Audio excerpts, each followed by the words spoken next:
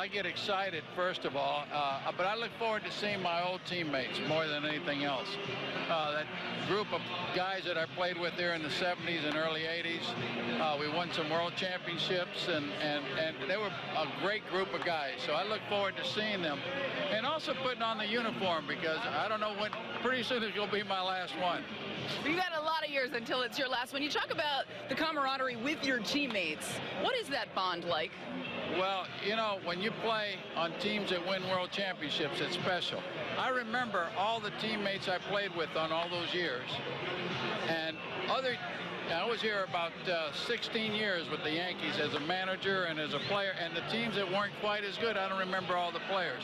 But if you look at the 77, 78 teams that won world championships, I remember all the players on the team, and it's great coming back over here and, and kidding around and having fun with them. You mentioned managing. So much has changed since you were Oh, in that dugout. Could you do it now? I, it'd be very difficult. Yeah, they use uh, analytics a lot more.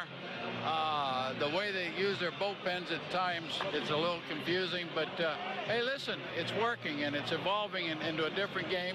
The players today love to hit home runs, as everybody knows.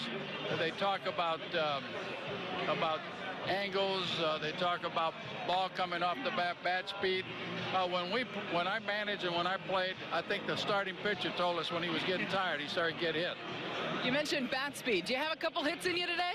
I don't. I really don't. I don't see the ball very well anymore. I took batting practice from Willie Randolph just a second ago, and I fouled a couple balls off. That's enough for me. Lou, thanks for the time. Nice seeing you. Thank you.